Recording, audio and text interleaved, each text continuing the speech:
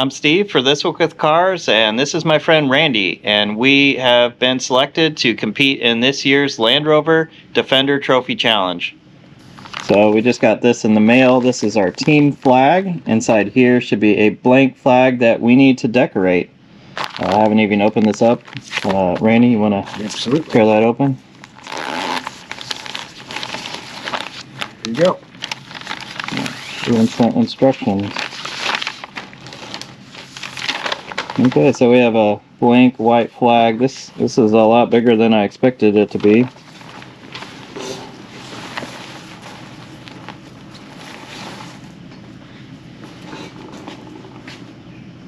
So we need to think up a team flag, also a team name. We don't have that yet. We'll uh, start decorating this and be back with you. We've decided on our team name, which is going to be Huey, which is celebrating the oldest Land Rover in the world.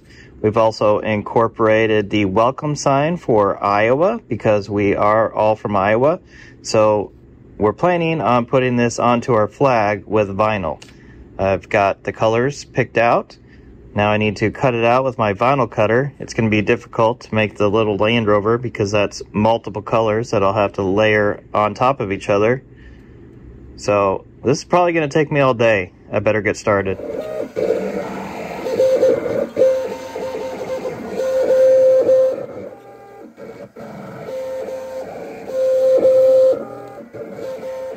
What I'm doing right now is called weeding and that is knocking all the little pieces of vinyl that I don't want out.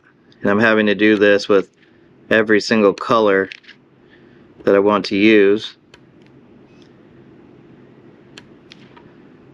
And then after this the hard part is going to get it, all these colors to line up correctly on top of each other because to make the image they have to be overlaying onto each other so I think this is going to take me about a whole day to make this flag. Okay, here's the three colors that make up the Land Rover. Now I need to put some transfer paper over them and stack them on top of each other. Now I have the big piece masked.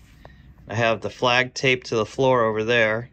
This is probably one of the hardest things I've ever tried to vinyl. Finally done. Here's how it came out.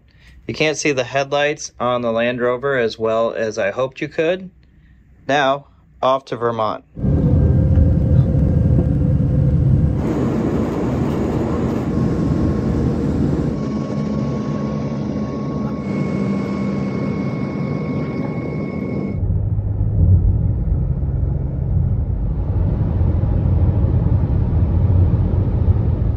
Okay, we made it to Vermont, and tonight we start our orientation. We have a dinner, they have team photos. Um, they're going to teach us everything that we need to know about these new trophy Land Rovers. I think they're even going to go over a little bit of the winching skills so that tomorrow, once the challenge starts, we can just hit the ground running. What do you think, Randy? Oh, this is awesome. Incredible. Quite a vehicle there. After making it through registration, we made our way to the Equinox Pond Pavilion.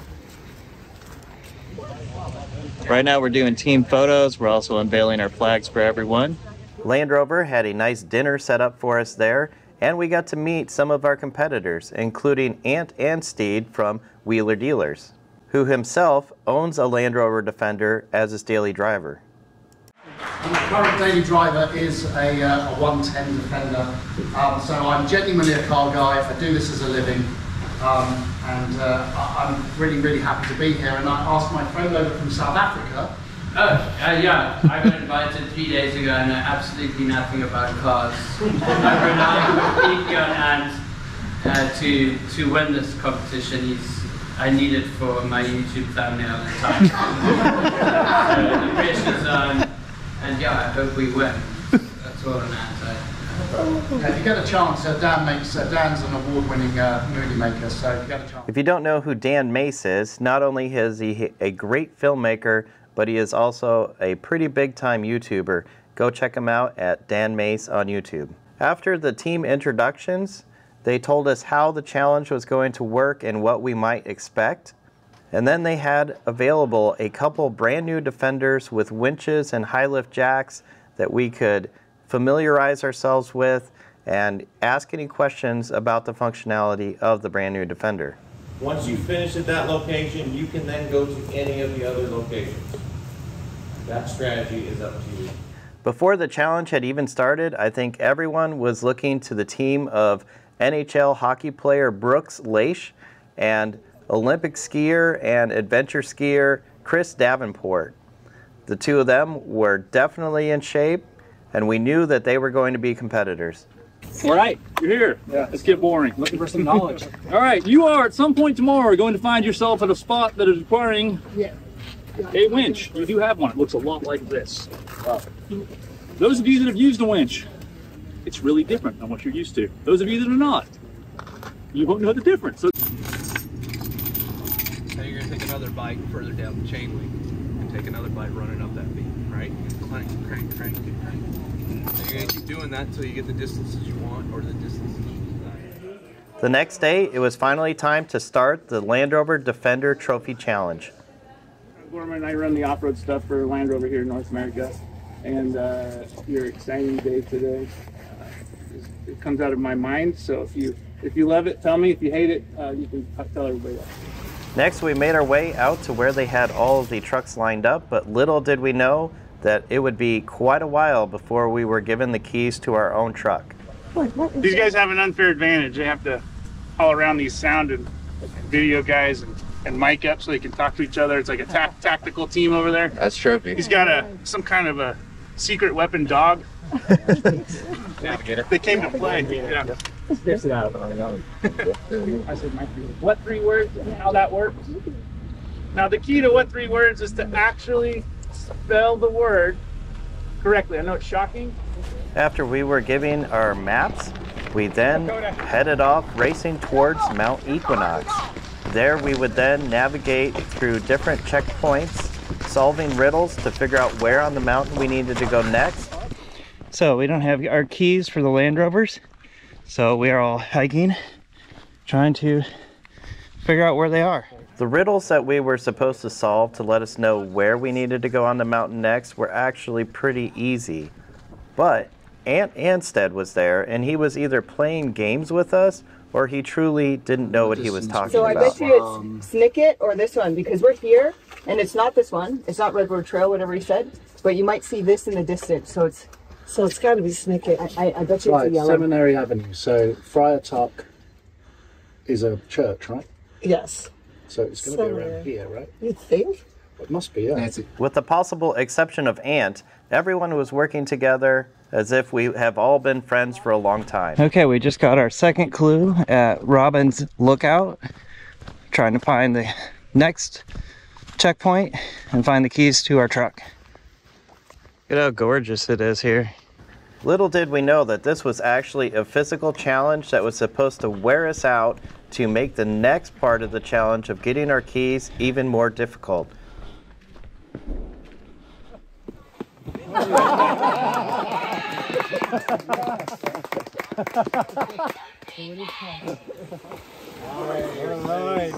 All of the Land Rover keys were located out there on that floating platform. One of the team members had to run across the lake and go get them.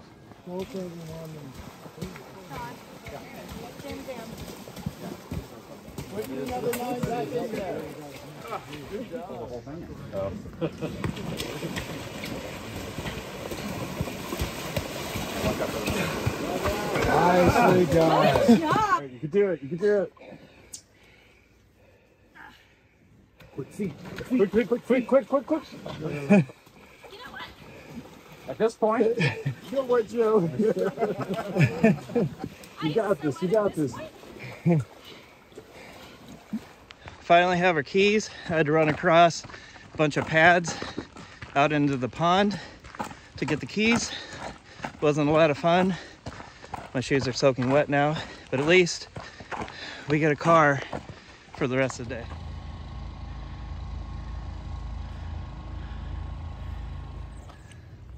Well, we're back at the truck. Even has our names on the side. How cool is that? We've been directed to go to the off-road course first, and looks like we're almost here. Enter. Amazing little Land Rover camera car there. Just only use manpower to move the vehicle, and you cannot push the vehicle. Oh, Howdy. What team are you? One. Team one. Uno. I was filming all of this myself, so I didn't get all of the events on camera. But our first event, we had to use block and tackles to pull the Land Rover.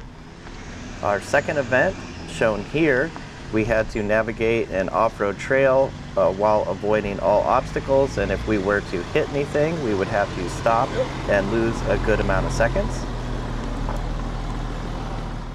Driver, driver, driver. You're straight.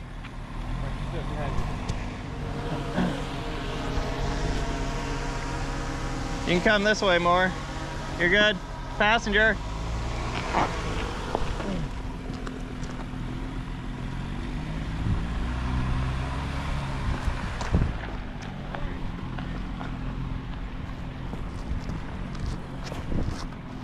The wood is located 150 feet away on a 70 degree compass bearing.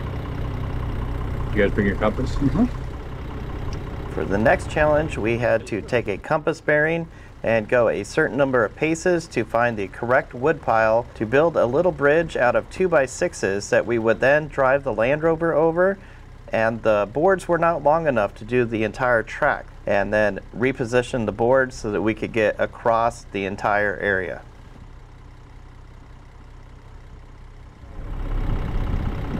Get him to go a touch to the driver's side. Just a little, just a hair. There you go. One more. Keep coming. There you go. Okay.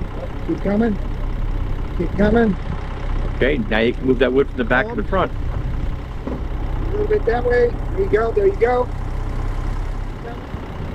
Okay, wood goes back where you found it. Perfect.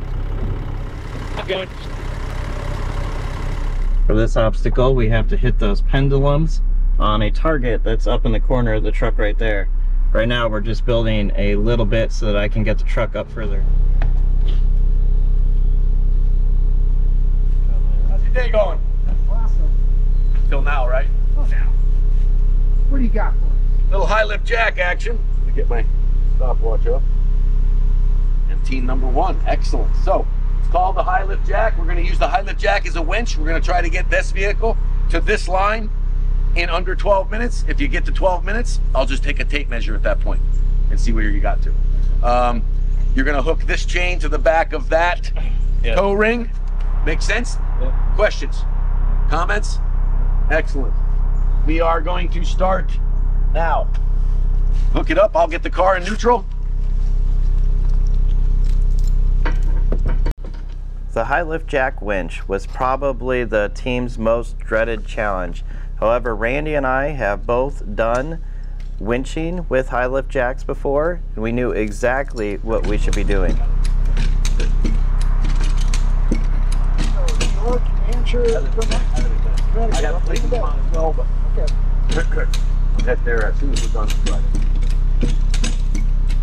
Now you're just gonna feel that it get real loose a couple times if you roll over a couple rocks. Don't worry about it. If you want to try to get creative, you can. Go. The part of this challenge that I was not prepared for is just how far we had to move the Land Rover using just the high lift jack. Normally, in actual world situations, you probably would have recovered yourself far before you have moved the vehicle this far. So this was a very intense workout. Nice. Just be aware. I'm gonna back up about a foot, guys. Okay.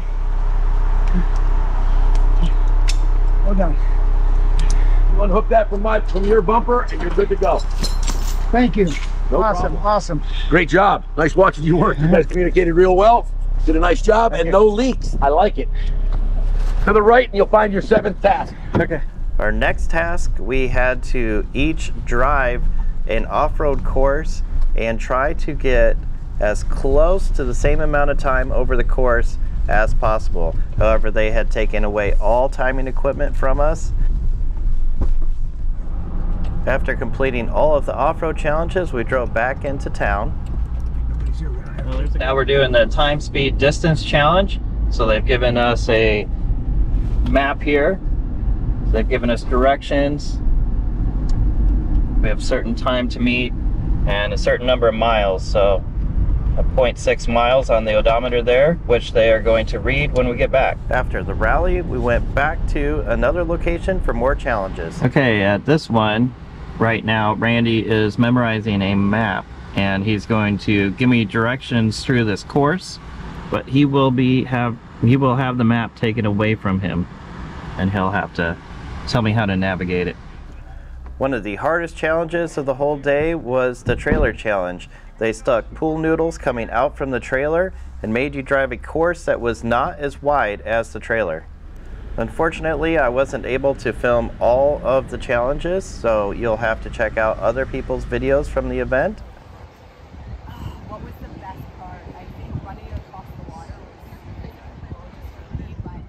was This was definitely way more physically challenging than I thought it would be. But if you ever get a chance to do this, definitely sign up and do it.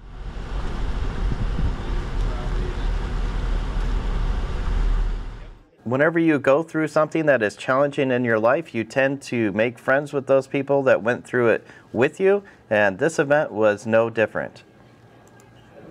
All right, so a uh, couple. I mean, some actually, to be fair, like today, today there were some really, really good scores. Uh, but I always like to, to come up with some interesting awards. So, is that is that you guys? Okay, okay. So team number three. If I were to make an award for you, it would either be called the roughest ride, or it would be called the dealership parts department fabulous customer award. Um, and, and, and the reason being is that on this time machine task that we were talking about, uh, everybody pretty much drove it today. It's one of the roughest, like rockiest, bounciest things in the world. Okay, so their their time was a minute 48 seconds. Which means that you, it had to have been painful.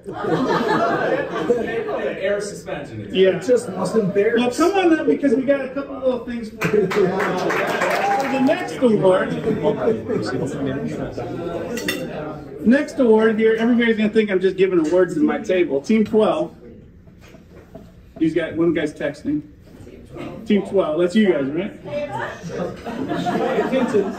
So the, the, the, the, pulley, the pulleys today, right? The pulleys, everybody understood you're supposed to put a rope through the pulleys? Oh no. You, you know, you know, you do the pulley thing. Well, it turns out when you bring a, an ex-professional hockey player and a, and a professional skier, what they actually do is just grab the rope and pull the car. so you guys get an award for, you know, I don't know, just blunt force trauma. Call it, call it the oxygen. Keep it simple, right? Honestly, you know what happened there is I looked at all those things on the ground and was like, that's too complicated. Let's just yank it. Go on. That's literally, that's literally the entire thought process. Oh, to be. I love. All right, uh, next one I got was uh, squared up. That's the one we talked about, the memorization one. Who's team number one? Evidently, you have excellent memories because you get it perfectly. Wow. So, come on, who the winners are. Who the winners are. Now, this is a little different night, obviously, because we, we have sort of two groups. We have sort of media and PR folks here, and then we have the other, you know, customers, guests, you know, our Land Rover people.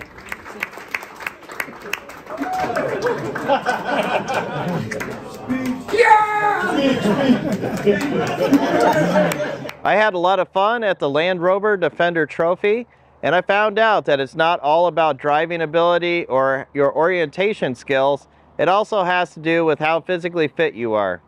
There's definitely a big advantage to the athletes because they were able to get in line first and weren't being held up by anyone else doing challenges in front of them.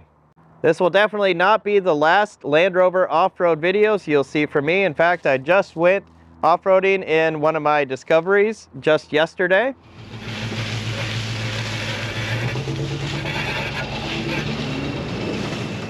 So if you want to see more videos like this, comment below and click subscribe.